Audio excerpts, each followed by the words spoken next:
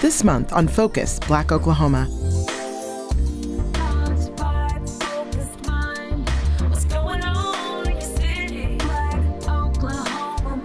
Hear from the leaders of Aware Oklahoma and OU's anti racist seminar who are closing gaps in anti racist education. Learn about the state's early migrants from the Asian American and Pacific Islander community. Jamie Glisson speaks with Congressional District 4 candidates, incumbent Congressman Tom Cole and his opponent Mary Brannon, in our third installment of the series. A Tulsa arts organization makes big moves into a historic building where youth can share the stage once graced by the greats. And the dynamics of a father and son hiking trip become a complicated and hilarious encounter. All this and more on Focus Black Oklahoma. Focus Black Oklahoma is sponsored by Phillips Seminary, with video of the Tulsa Race Massacre annual lectureship from the author of Lynched The Power of Memory in a Culture of Terror online at ptstulsa.edu slash lectures.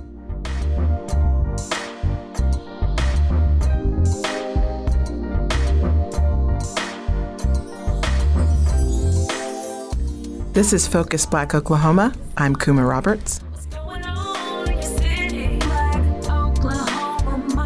Focus Black Oklahoma's Lydia Jeong met with leaders who are closing gaps in anti racist education by encouraging Oklahomans to talk about issues relating to race and discrimination. Here's more about Aware Tulsa and the University of Oklahoma's Anti Racist Rhetoric and Pedagogy Seminar. The bright red state of Oklahoma is one that struggles to acknowledge and support anti racist and anti discriminatory principles. Schools and workplaces rarely provide built in or intentional spaces for learning that are available for youth and adults alike. There are two initiatives in Norman and Tulsa that currently provide or recently offered these spaces to fill the gaps in anti racist learning and community. Kelly Pyron Alvarez is an assistant teaching professor at the University of Oklahoma who has previously provided learning opportunities to close anti racist gaps that she sees in her students. She created a seminar with two other OU faculty members called anti racist rhetoric and pedagogies due to witnessing students discriminate against one another. With my students, especially, because I mean, I'm getting them their first year in college. So they're 17, 18, 19. They mimic what their parents think. I don't know that they fully understand some of these things sometimes. But then there's not a lot of education on white supremacy and racial issues in the state anyway. I had had some issues with students in the past saying absolutely horrible things. Like, I no longer do peer review in my classes because students abuse peer review. I had one student, um, for example, comment on somebody else's paper, and this was several years ago, that I don't know if you're gay or not, but if you are, you shouldn't be. When institutions don't provide spaces to discuss and break down discrimination and anti racism, Pyron Alvarez says harmful biases show up in pervasive ways, regardless of age. If we don't talk about racism and if we don't talk about white supremacy, and if we don't work to understand what these concepts are and how they impact us, then we can't disrupt the systems that utilize them. We can't create systems that no longer produce harm. So we have to talk about it. And Oklahomans are really not wanting to talk about it.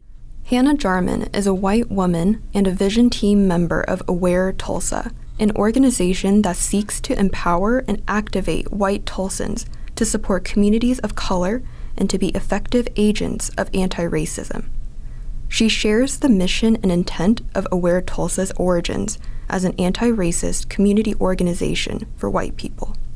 Aware Tulsa was started in 2015 after the killing of Eric Harris by the Tulsa Police Department. Um, there was an understanding by the founders that there's a deep and urgent work that was needed for white people, white Tulsans specifically. Our new program, Aware Tulsa 101, is intended to bring white Tulsans together to discuss issues of race and explore what it would take to shift white culture in Tulsa. So we realize that it's actually less about, you know, we can talk about history, we can talk about politics, but the reality is that like we need interpersonal change within white Tulsans and white culture specifically to shift away from white supremacy and towards anti-racism. As a facilitator, Hannah believes that learning and building community with white folks and by white folks is crucial for holistic growth. My favorite pieces about the program is the ability to question each other oftentimes we see multiple group, you know, obviously multiple groups of white people with different perceptions on race. Some believe that they have read enough, they've done the work, like they've met the finish line, especially post 2020 with, you know, the summer of racial reckoning. A lot of people picked up a lot of books and they're like, I've got it. Or some people went to a school that was racially diverse, I've got it, I get it. You know, we've got kind of that group, right? We've also got um, a group that, like, you know, what the believe it's unnecessary to kind of do any work regardless, right? And then you you have this group that's comfortable not thinking about race at all. Even these small moments of challenging each other, pushing each other, um, is really important to me and that's been happening throughout even if like there's a scenario we want to discuss where we don't have to you know bring in a member of the bipoc community and ask them those questions which we know can be like incredibly you know burdensome to them achieving racial equity in tulsa will only start when individuals take up reflective and personal work to confront the ways that white supremacy is conditioned. If white people are not questioning why they are defensive when someone calls them in on a conversation, we will never move forward. Um, I could, you know, you could justify your actions all day long. You know, personally, I could sit here and say, well, you know, I was intending to do this and I, yeah. uh, that wasn't what I meant. And, you know, xyz things we get so caught up in like our own pride um, that sometimes we fall into guilt shame defensiveness. And if if we're not even hitting that problem first we're never going to be able to actually be able to organize. Aware tulsa aims to provide spaces for this personal work. Individual change is the crucial step before community-wide change can happen if we could help white Tulsans figure out what a anti-racist white identity could look like and how we could act upon that and then be able to effectively organize and effectively have policy change and effectively uh, like communicate with BIPOC organizations and communities that would just m- make this work and make this movement so much smoother, but also just so much more effective. Um, so that's really why I think that Tulsa specifically need this program. Community based organizations like Aware Tulsa are creating programs to close the gaps for anti racist education while providing safe and collective learning spaces for white folks. White Tulsans who are interested in Aware Tulsa can find resources and sign up to participate in their next cohort, beginning at the end of August follow their Facebook page at Aware Tulsa. For Focus, Black Oklahoma, I'm Lydia Jeong in Tulsa.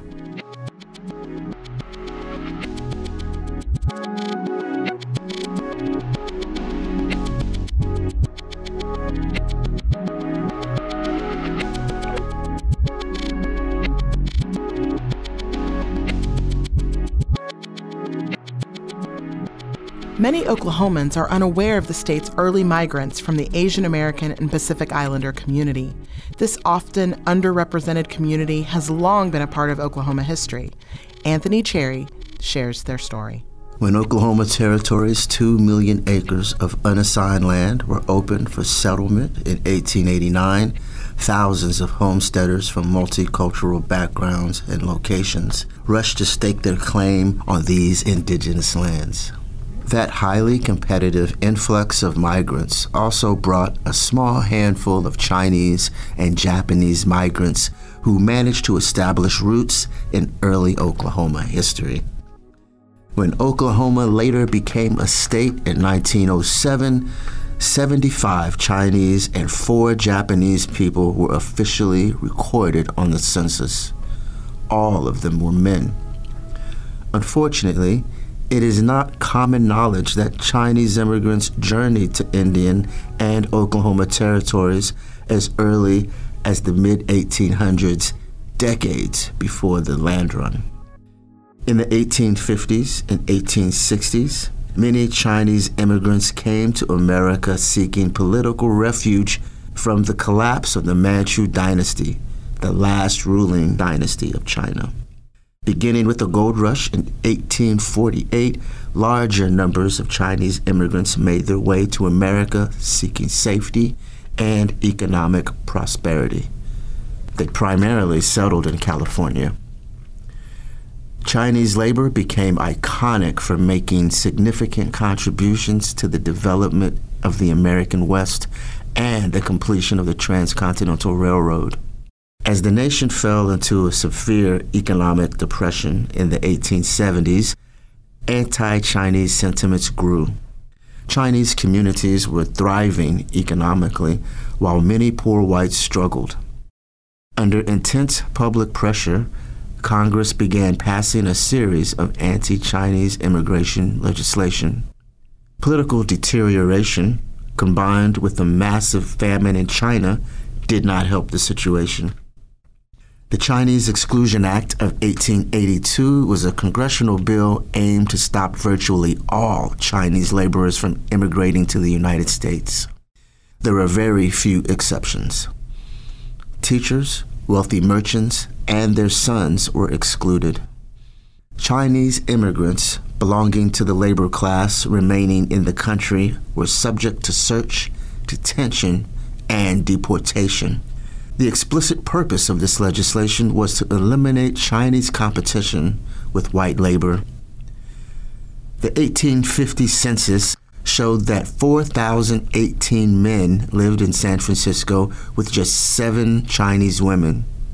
Initially, Chinese cultural expectations prevented many Chinese women from coming to the U.S., but ultimately, the United States Congress passed legislation called the Page Laws limiting Chinese women from immigrating to the United States. By 1882, only one in 400 Chinese immigrants were female. Page laws were designed to prevent the solidification of Chinese families and communities in the United States. When the railroad work dwindled due to the completion of the Transcontinental Railroad and anti Chinese legislation, a handful of these now illegal immigrant workers made their way to Oklahoma disguised as Mexicans and Native Americans. They were looking for their share in the economic development of Oklahoma pre statehood. Some historians suggest that thousands of illegal Chinese workers were smuggled across the Mexican border with hundreds of these undocumented workers actually making it to what was then called Oklahoma Territory and Indian Territory, then also known as the Twin Territories. A group of powerful Chinese merchants created an organization called the Six Companies that would eventually monopolize Chinese human trafficking.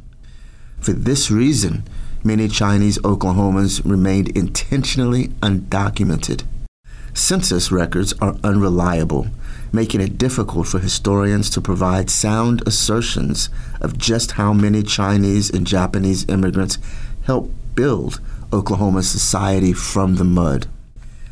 Outbreaks of anti Chinese violence forced many people underground in a figurative and sometimes a literal sense. There are rumors of underground cities across the country, including Oklahoma City the Chinese Exclusion Act loomed over their heads as Chinese immigrants optimistically attempted to carve a mostly undocumented life in Oklahoma. Today, much like their predecessors, Oklahomans of Asian American Pacific Islander or AAPI backgrounds are continuing to carve out a life for themselves despite significant contemporary social challenges. Dr. Singing Edens is a Chinese immigrant currently living and teaching in Tulsa. I'm a Chinese instructor at Holland Hall, Tulsa, Oklahoma, and I'm also a director of a Oklahoma Chinese Language Institute. In my spare time, I um, volunteer as a chair of a Beihai Sister City Partnership in Tulsa Global uh, Alliance, and I also uh, work as a reviewer of K 12 Chinese language teaching at USA Chinese Language Teachers Association. I'm also a reader of AP Chinese and reader of elementary education certification at ETS. Hailing from northern China, Dr. Edens has worked extremely hard to establish herself as not only a servant of Oklahoma's AAPI communities, but also as an advocate. I think the biggest concern, biggest challenge that the uh, Chinese people face right now is the Asian hate due to the lack of understanding of Asian culture. Asian hate is nothing new. Much like the 1870s, AAPI citizens experience economic uncertainty mixed with heightened racism and xenophobia which have created potentially hostile environments. Dr. Edens went on to add that some people just turn their ignorance into fear and hate. Uh, Asian Americans have been the the scapegoat for unemployment, involution, and COVID in the past several years hate behaviors and uh, violent crimes against Asian Americans were in, increased significantly in the U.S. Um, in Tulsa, it's lucky that uh, we don't have that uh, obvious um, violence, but Asian hate can be something hidden behavior, including verbal harassment, shining avoidance, physical assault. So, anti Asian behaviors can be verbal harassment, even shining and avoidance, uh, physical assault, coughing, spitting, eye rolling, even you know the mean gestures such as pulling your eyes toward different angles. And I have experienced that uh, my in, in my teaching experience. So you can imagine how hard it will be for other Asians in other fields. Examples of this anti AAPI violence include economic ostracization, racist graffiti and vandalism, physical assaults, and verbal threats. Rex Burnett is the director of the East Asia Institute at the University of Oklahoma. You know, I, I, think we're all part of the same system. You know, we're all human beings. You know, I, I personally don't, I believe that we're just different cultures and that we've developed at, at different times and, and have different, you know, different ways of doing things. But I think in order to not only gain compassion and empathy and understand words that are going around like equity, mm. you know, we have to understand that people are people. If you go to China tomorrow, or if you went to the Middle East tomorrow, you would see families that care dearly about their children, that are trying to make a living. If you go to Africa, it's the same thing that's what people are trying to do in life. And so the problem we have is that the people that have the biggest voices are usually politicians. Mm. So you have the Chinese government and the US government with the biggest heads that are talking, and the people like us, you know, the common person or the educators, the intellects, and other people that, you know, should also have a voice. Former President Donald Trump repeatedly referred to COVID 19 as the Chinese virus or Kung flu. This targeting of the Chinese as dubious proliferators of the coronavirus has been deemed racist by many and a way of scapegoating an entire demographic of people in America, many of whom are American citizens. But it is not just Chinese Americans being scapegoated, but all Chinese. Begin uh, by announcing some important developments in our war against the Chinese virus. We'll be invoking the Defense Production Act just in case we need it. Why do you keep calling this the Chinese virus? There are reports of dozens of incidents of bias against Chinese Americans in this country. Your own aide, Secretary Azar, says he does not use this term. He says ethnicity does not cause the virus. Why do you keep using this? A lot of people say it's China. racist. It's not racist at all. No, not at all. It comes from China. That's why comes from China. I want to be accurate. About Chinese yeah, please, John. Please. The aides behind you. Are you I have a great. I have great love uh, for all of the people from our country, but uh, as you know, China tried to say at one point, maybe they stopped now, that it was caused by American soldiers. That can't happen. It's not going to happen. Not as long as I'm president. Uh, it comes from China. Do you think using the term Chinese virus that puts Asian Americans at risk, that people no, might target not at them? all. No, not at all. I think they probably uh, would agree with it 100%. It comes from China. In March of 2020, John Cornyn, Republican senator from Texas, commented Well, I think China is to blame because the culture where people eat bats and snakes and dogs and things like that, these viruses are transmitted from the animal to the people, and that's why China has been the source of a lot of these viruses like SARS, like MERS, the swine flu. Words matter tremendously in these high stakes situations. Our national values are also called to the center of the world stage. What message does this type of language send regarding national values?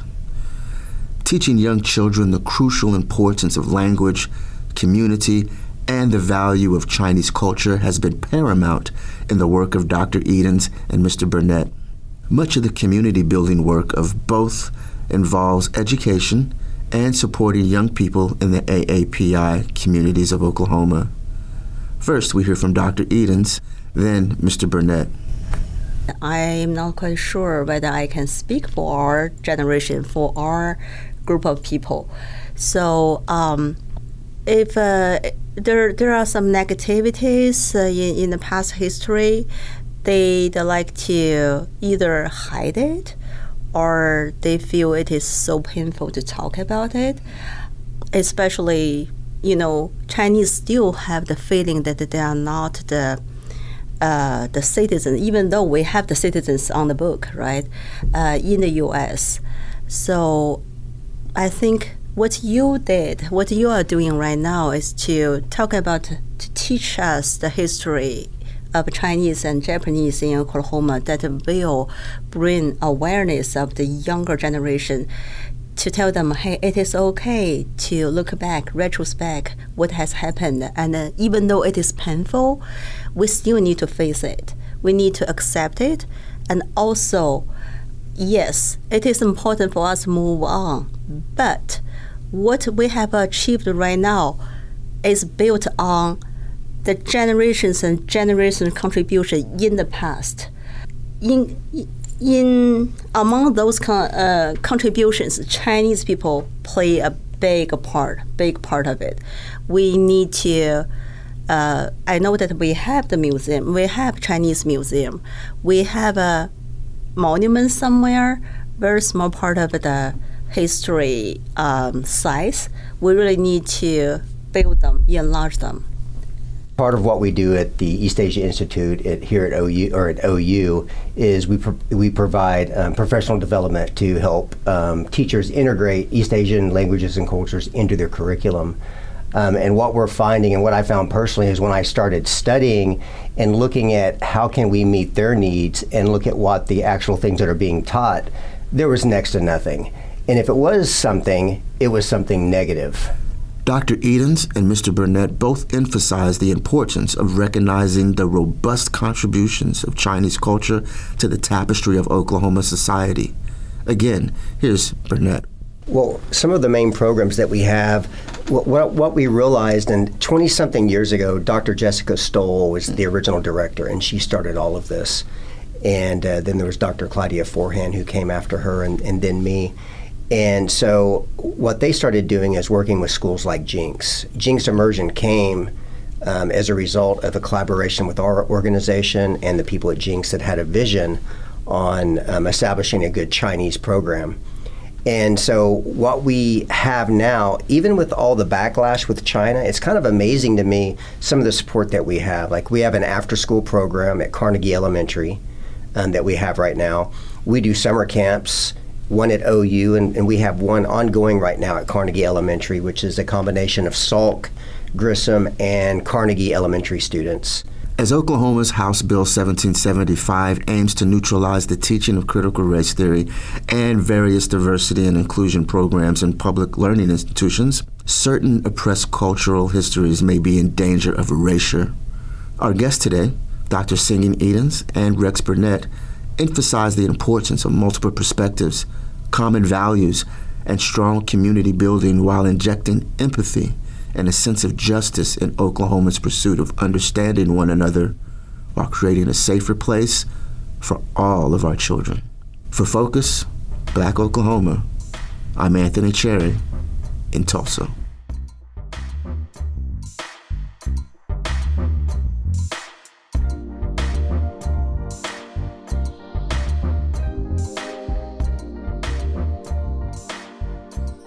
In our third installment of our series exploring candidates running for political office across the state, Jamie Glisson speaks with Congressional District 4 candidates, incumbent Congressman Tom Cole and his opponent, Mary Brannon. It isn't often that a state within our country can be represented by someone with so much historical and family lineage as Oklahoma has with Congressman Tom Cole. Representative Cole is a fifth generation Oklahoman a member of the Chickasaw Nation, descendant of the famous Mary Frances Thompson Fisher, better known as Te Ata, and the son of Helen Cole, a member of the Chickasaw Hall of Fame, and she served as a state senator, mayor of Moore, and was the first Native American woman elected to the Oklahoma House of Representatives. Cole is currently serving his 10th term as congressman to Oklahoma's 4th District. He was first elected to the United States House of Representatives in 2002 and earlier this year became the longest serving Native American in the history of Congress.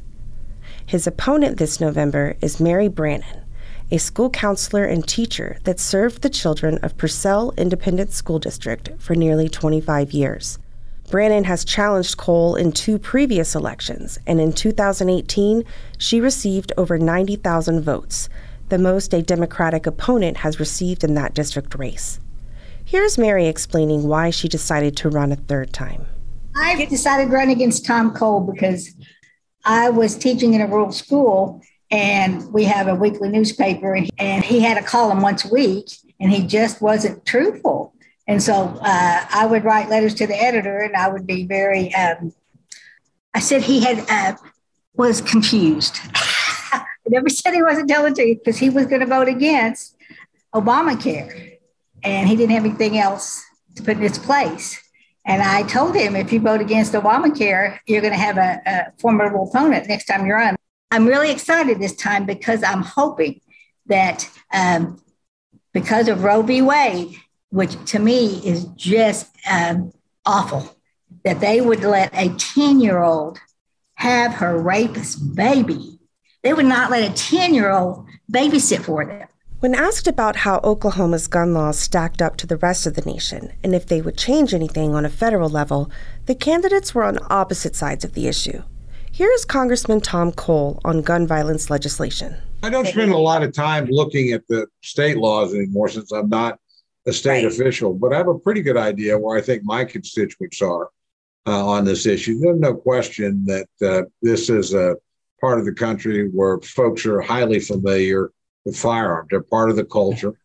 Uh, where actually uh, years ago, I think I, I, happened to make the statement uh, that, like, in my view, one out of every two households in my district had a legal firearm, and that, that like caused a flurry at the Washington Post. And uh, they said, well, well, how do you know that? Well, I know my district. Look, I grew up here. I lived in the district uh, you know, most of my life, really, my family's lived here for over 170 years, literally inside the current confines of the district. So I think I have a pretty good idea of, uh, you know, what what people think here, and that's uh, part of the culture. It's a place that uh, firearms are used for hunting. Then I think a lot of people are genuinely concerned, particularly in rural areas, about what the response time of police is to get to them. They're not going to be there in three minutes if you're out in Eureka or in rural Jefferson County or someplace like that.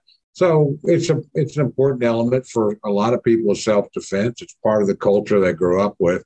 I remember doing a series of meetings at schools in rural areas after Sandy Hook, and honestly, you know, again, a lot of these kids grew up hunting, and uh, they were more worried that Washington would pass legislation that would somehow either confiscate weapons that they already owned or uh, make it possible for them to get things. And they were worried about their personal safety. So, uh, you know, most of the federal legislation even when you get something relatively mild, like we had three or four weeks ago, and I certainly supported the additional money for mental health, the additional money uh, for hardening schools, all that stuff's fine. But once you start actually uh, going after what what you know, they're called assault weapons. They're not. An AR-15 is a semi-automatic. It's a pretty popular platform. We know there's at least 24 million uh, legally owned inside the United States. Uh, and you're talking about eliminating those or uh, allowing people that have them now to keep them, but putting, uh, you know, restrictions on their ability to uh, transfer them to family and friends or uh, their ability to purchase them. In other words, saying what you got, keep, but no more could be sold. You really are getting on a slippery slope as far as most of my constituents are concerned, particularly people that vote on the issue, that this is a motivating uh, force for them. So, again, I, I, see it really as more of a, of a, uh, regional and cultural issue uh, that different parts of the country feel different ways. I mean, uh, uh, there's not a profound difference between Republicans and Democrats within the state of Oklahoma on this issue in the same way there would be in Washington, D.C. Congressman Cole stated that the National Rifle Association has given the members of our House of Representatives an A rating. Mary Brannon currently has an F. Here is Mary with her take on gun violence legislation. Yes, I would change something at the federal level. When you've got mass shootings like you have in Texas, 19 students and two teachers, we need to get the AR 15 banned again, like it was when Clinton was in office. I don't think people understand what happens when you get hit by an AR 15 bullet. It, it explodes. Some of these little kids at in Texas, they had to have their parents come in because their faces were just blown off. How can we do that? How can we accept that? And then on top of that, look at around us, look at other countries. They don't have these problems we have. Why are we having these? We need to look inside our policies why we are having so many mass shootings. If we have people who have mental illness, they should not have a gun or they should at least have a, a three day wait. You shouldn't be able to buy an AR 15 at 18 when you can't even buy a beer. you know, I mean, but some at some point, these Republicans have to look in the mirror and say, maybe I need to vote differently. If they're going to have 19 kids shot, that they have been so defaced, they have got to have the parents come in and do a DNA test. Maybe there needs to be something done. On the topic of CD4 constituents and their interests, Congressman Cole mentioned the support of the military facilities and the civilian jobs they offer energy production, farms and ranches, and tribal lands when I'm asked to describe the district, I always say, you know, the two largest single site employers in Oklahoma are uh, Tinker Air Force Base and Fort Sill Army Post. Uh, and so it's a heavily military district, not just in the, those institutions, but also all the private contractors. There are 16,000 civilian jobs at Tinker. You know, Boeing has 3,000 people right outside the fence. It's a big energy district. Uh, the two largest oil producing counties when I was elected, and I think they still are, are Carter and Stephens. But you know, you've got the historic home of Halliburton here. You've got huge energy presence, thousands of producing wells, lots of royalty owners. So that's going to matter. It's got between 13 and 14,000 farms and ranches. So, you know, uh, things like the farm bill, things like uh, the export, uh, it produces over a billion dollars worth of exports that go beyond uh, the continental United States that are agricultural. So, uh, you know, free markets, open markets around the world are very important to Oklahoma farmers and ranchers. Um, I have uh, 11 different Indian tribes that have jurisdiction in some area. They're huge employers uh, and, uh, you know, historic parts of the community. So if you're sitting in this area, you're going to care a lot about Native American issues. I think on Native American issues, I tend to know more than anybody else uh, in the district, partly because I am, partly because probably the largest tribal economy is the Chickasaw. They have 14,000 employees. The great majority of them are in this district. Largest casino in the world sits in my district on the Oklahoma Texas border, bigger than anything in Las Vegas or Macau. Uh, but they're in a hundred other businesses as well. So again, uh, you know, just over time, you learn a lot and you focus on your district, and obviously you try and be helpful in the state. Brannon says she has a plan to fight for three big things in her district Social Security and the aging working class, veterans benefits, and getting rid of tax cuts for the wealthy 1%. She believes the privatization of certain areas, like Oklahoma's prison system, has done near irreparable damage to the state and its people, and doesn't want to see that harm brought to Oklahoma veterans. Her brother, a 100% disabled Vietnam veteran, was, quote, eaten alive by Agent Orange, end quote. Brannon has many passions, but says taking care of our country's vets is her biggest.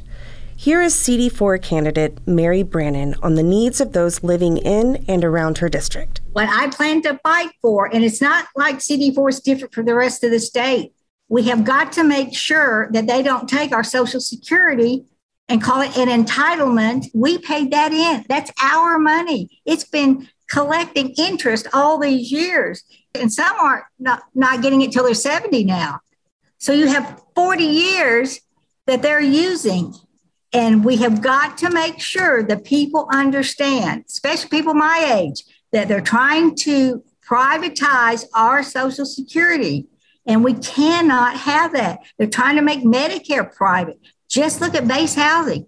Just look at how they messed that up on privatizing. My next big thing is taking the tax cuts back from the rich it, it's going to take some political courage in uh, Washington, and I haven't seen a lot of political courage lately. So that's what I want to do. I want to take back the tax cuts where they were. They did not, you know, did not trickle down. They knew it didn't trickle down, and I also want to make sure the VA does not go private and make their hospitals private because what will happen is people like my brother, bless his heart, who died a slow, painful death will have nowhere to go.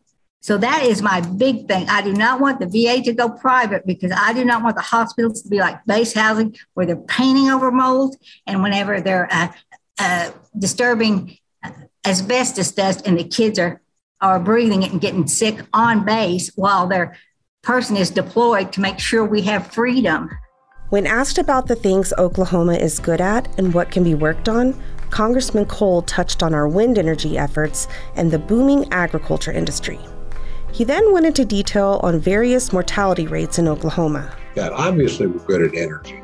Uh, you know, some of the most uh, you know innovative uh, uh energy work in the country's done here, and it's not just classic oil and gas. You know, we're number two in the country in wind power as a percentage of our. So there are things like that. Agriculture, again, is a especially for us. Some areas where we're not good at, uh, you know, uh, we're terrible in child mortality and uh, maternal mortality. Our rates are some of the worst in the country. But, you know, about 40% or more of your health outcomes are literally determined by, uh, okay, what do you eat? Uh, how much do you smoke? What do you drink? You know, we're like at the bottom of all the health indicators that are out there. We have a lot of bad habits. I love chicken fried steak, but it's not the best thing in the world to be eating. Uh, so there are things like that, that that we work on and try to provide a national focus on, uh, because you can you can really change things. And by the way, that they that's true in most low income communities around the country.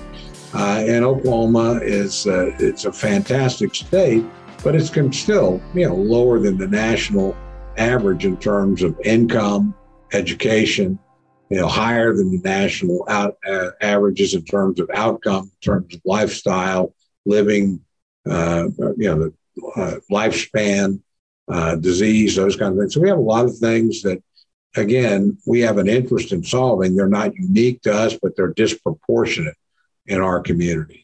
Before Mary shared what she believes is good about Oklahoma and what needs to be worked on, she talked about the redistricting that recently took place. It worries me that they're doing so much gerrymandering. I just don't think we should have to worry about our map because what they're doing is they're picking their voters. We're not picking our politicians. Mary then shared her disappointment in the lack of possibility of economic growth with new businesses and corporations coming to our state. You know, how come we don't have more um, progress in companies? We, we seem like we're, we've got them and then they, they go someplace else. We need to look at that. Why are they not staying here? I, I went to OU. I think that we have good universities. I think that they are very accepting and they do a lot of good work. Uh, we are a friendly state. We have just got to be more progressive because I worry about um, the poverty level here. We are the lowest. We can't keep teachers. You just pay them too poorly. You know, when you've got teachers like me, you're either um, planning what you're going to teach, teaching it, or grading what you just taught. And then on top of that, you've got these new teachers who have to do all that, have to leave and go to a second job. That is ridiculous. You know, we are 51st in, uh, in, at the bottom of how we treat women. 51st in the States. We don't want to be that. Honestly, feel if, if we gave more to education, we could give less to the prison system 10 years later. We've got to treat our teachers like the professionals they are and we've got to pay them. They, they went to four years of college. That most of them aren't in it for the money. I know I wasn't. They're doing doing it because they love kids. We got to love them back, or we're going to lose them. Whenever I was a counselor, I had um, I had children who had parents who were incarcerated. You know, especially if a new kid comes in and they've been like from Granite or some of the others, and um, I don't think people understand when when you've got somebody in jail, there's somebody's mother or father and those kids need something from them. And we need to be more um, family oriented, not just that inmate oriented. Because if they're going to come out, they need that system. And those kids need to have that contact because they are already scared. You know, it's hard being a teenager. It's hard being an elementary kid and also having a, a parent incarcerated. We've got to work on that you know, Mabel Bassett, number one in female uh, incarcerations. Just sad. That's why I'm running. For Focus, Black Oklahoma, I'm Jamie Glisson in Norman. You're listening to Focus Black Oklahoma. Tulsa Arts Organization, A Pocket Full of Hope, makes big moves into a historic building so that youth can share the stage once graced by the greats like Count Basie and Ray Charles. Jasmine Bivar-Tobie has details on how this organization continues to improve the lives of students in North Tulsa. For over 22 years, A Pocket Full of Hope has been dedicated to the development of middle and high school age youth in North Tulsa through education, life skills, and the performing arts, such as dance, poetry, and acting. The mission of this long standing organization is to help at risk youth graduate from high school. Dr. Lester Shaw is the founder of A Pocket Full of Hope. We've been focusing on young people to helping them graduate from high school we started out talking about at-risk youth, at-risk this, at-risk that. So we decided that we need to, to focus and narrow that at risk of what. And so our focus is at risk of graduating or dropping out of high school. And so we wanted to, to create pathways to help them uh, accomplish that. And as a result, we have a 100% high school graduation rate of the kids who complete our programs. To date, a Pocket Full of Hope has a 100% graduation rate, impacting more than 5,000 lives. Sky Freeman, a 2017 graduate of Booker T. Washington, remembers being in the program from seven years of age through high school graduation. Currently, she is earning a certification in cybersecurity and data analytics and attributes her success to the program, stating, quote, If it wasn't for a pocket full of hope, I wouldn't know where I would be today. The program taught me to work hard even when things are rough. Show the world what you can do. End quote. In 2007, A Pocket Full of Hope purchased the historic Big Ten Ballroom located off Apache Street in North Tulsa. One of the problems the organization has faced over the years is reserving space for performances of their youth led shows. Acquiring the Big Ten Ballroom not only provides a consistent performance space, but also allows the program to serve more youth. During the 1960s, the Big Ten Ballroom, known as a swanky nightclub for Negroes, was a center point for the North Tulsa community. Dr. Shaw talks about the journey of renovating the ballroom. There was one founder, foundation who wanted to fund us, but they said, we'll, we'll fund you if you tear down a building and start over. And of course, politely, I said, uh, no, I don't think we want to do that. Uh, but, you know, I appreciate your suggestion, you know. But I could see he didn't have the vision that I had. Um, because, you know, you had pigeons flying in here, the trees was growing up. It was horrible, all the floors was, was tore up. And that let me know, because I had seen this building when I was a kid. It was a gas station right next door, a FINA gas station. Mm-hmm. And we would pull up to the gas station on the way going to church, and there were people still hanging out. You know, uh, it might have been James Brown because they say he used to stay here after hours and just talk to people about where he'd been, and you know, people didn't want to leave. And uh, so I, I knew right then that vision is not only what you can see in front of you, but what you can see uh, inside of you. It's, it's, it's internal and external. And I had the, the opportunity to have an insight on what it used to be, you know, and then have the foresight of what it could be, you know. So uh, vision go both ways. Legendary artists such as Tina Turner, James Brown, Count Basie, Ray Charles, and the original Temptations played at the venue. During segregation, these amazing acts would perform at the Big Ten Ballroom and then stay in the homes of community members as they weren't permitted in the local hotels. It provided them uh, opportunities to live and, and, stay with people in the community. They stayed in, people, in a lot of people's houses because you know a lot of it was doing segregation. In a lot of places they couldn't couldn't stay. Uh, one band I remember, one of the, the owner's daughter she told us a story about uh, uh, she couldn't think of what band it was, but uh, I don't know if it's like Tina Turner band or if it was uh, some other band. Uh, they loved her mother's spaghetti, so so every time they came, they wanted her to prepare that spaghetti. Shaw believes that this historic element is a great foundation for his participants to connect their future success to greats from the past. Dr. Shaw believes this rich history is a critical tool in empowering young people. The restoration of this legendary ballroom is well underway and completion is expected by November of this year. For Focus, Black Oklahoma, I'm Jasmine Bivar-Tobie in Tulsa.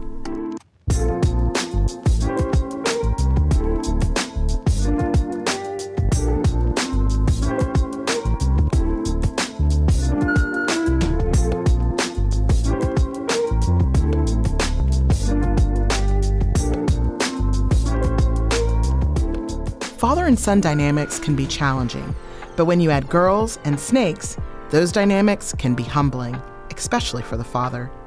G.K. Palmer tells us his story about a kung fu snake. So, my son just graduated high school.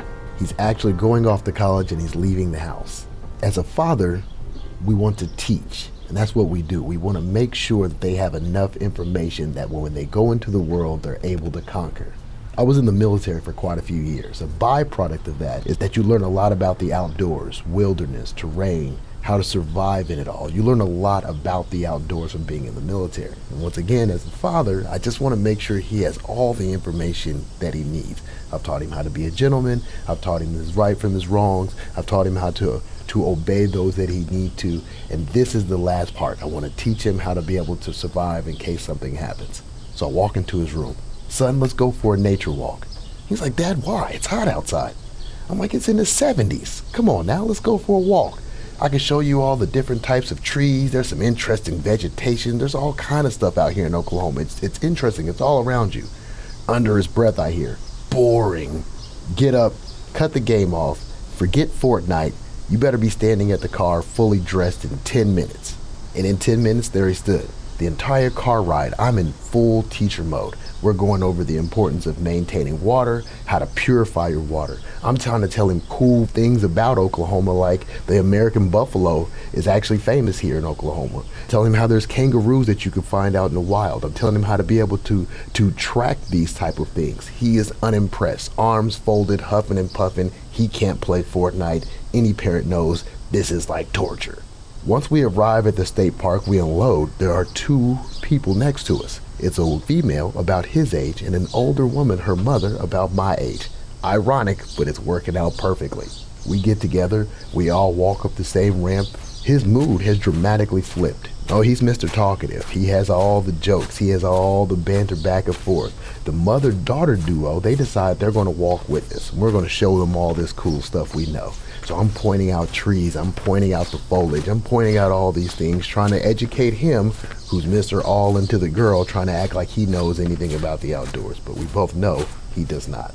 Okay, everybody, this is important. I need everybody to know how to purify your own water. This is me in, in straight teacher mode. I need to know how to, to purify water.